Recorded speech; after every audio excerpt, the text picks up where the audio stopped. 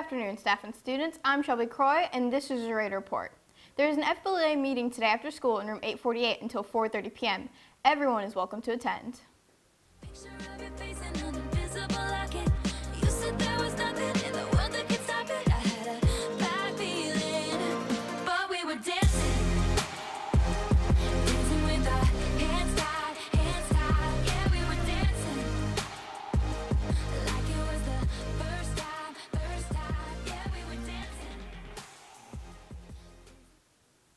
That's all for Raider Report. Thanks for watching, and I will leave you with today's birthdays.